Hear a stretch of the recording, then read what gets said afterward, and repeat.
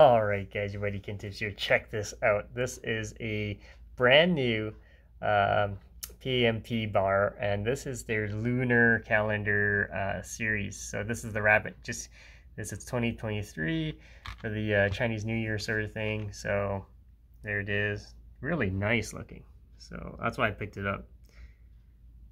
Get a better look at it right there. Take a look at this.